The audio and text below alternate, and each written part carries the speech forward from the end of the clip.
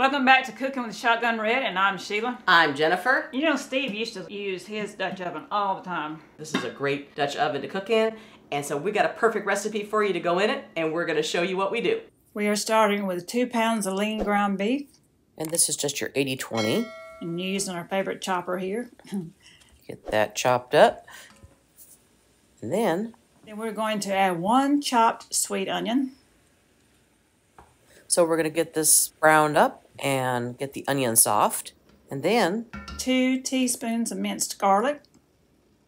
add that in there. This is so good, and it's in our new cookbook. Yes, volume three of the best of Cooking with Shotgun Red is coming out October 25th, 2024. We got a lot of new recipes. Pick up a copy. The link is right there, or go to shotgunred.com and get you one. You got to get this cookbook. Yes, and then Italian seasoning, we've got three teaspoons of Italian seasoning, and we're going to put half of this in here now and reserve the other half for later. I like to season the meat. And we got three teaspoons, uh, basil, and parsley. and we're going to do the same thing. I'm going to do half of it now and reserve the rest for later.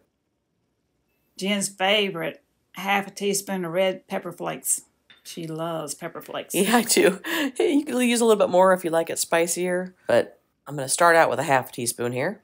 Stir all that together.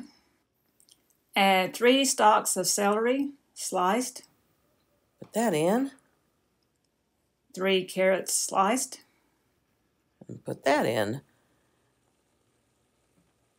And then we're just going to mix this up a little bit.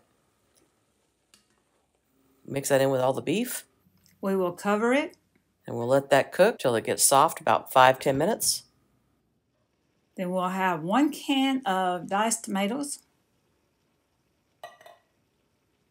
Mix that in. some red kidney beans, rinsed,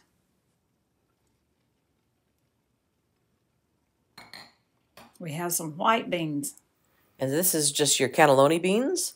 You could use regular white beans if you like, but this is what I had in, in the cupboard, so that's what I'm using.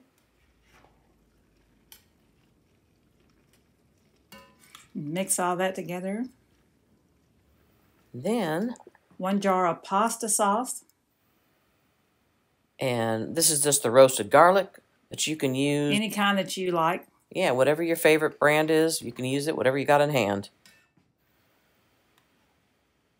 So I'll mix that in gently. Careful not to smash the beans. Then four cups of beef stock, we'll add that in. Now you can use chicken stock. You can use whatever kind of stock you have on hand too. Then we're going to add some pasta. And this is your ditalini pasta. And I'm going to use half this box because I want to put about 8 ounces. And this is a 16 ounce box. So we'll put that in. And really, you could use any kind of pasta you want. But I like these for this particular dish Mix that in a bit. because they're small. We're going to add a tablespoon of sugar, And that's going to cut down on some of the acid in the tomato sauce. Let that simmer. We're going to cover it and let it cook for about 20 minutes or so. Then we will add the remaining seasoning. So there's the rest of the basil and the parsley. And here's the rest of the Italian seasoning. We'll mix that in. And I always like to wait until the very end to do the salt and pepper. Salt and pepper to taste. This is the garlic salt I'm adding in here. You could use regular salt, whatever you want. But I don't want it to be over salty, so I like to do it at the very end. And then I'm going to pull a Steve and do a little taste test here with my spoon. But I promise I'll clean off the spoon in between. But I got to do a little taste test. Pretty good. Add a little black pepper in. It's even better the next day. Oh my gosh. All that flavor in there. This dish smells amazing. Doesn't it though? Ugh. It just fills the whole kitchen. Yum. One more taste test. Don't test it. Talk about some comfort food in a bowl. Mhm. Oh, that's so good. Ugh, wait till you taste this. Let's bowl some of this up. All right, let's do it. Doesn't that look so good? All different kinds of things in there. Yes. As Sheila would say, it's a colorful dish. Steve would love this one. And that looks really, really good. Mm-mm-mm-mm. Put all that in there and get got some French bread sitting here. Add a little Parmesan cheese. Mm-hmm. Sprinkle some of that on top. And as Steve would say, Is this the best pasta fagioli you've ever had?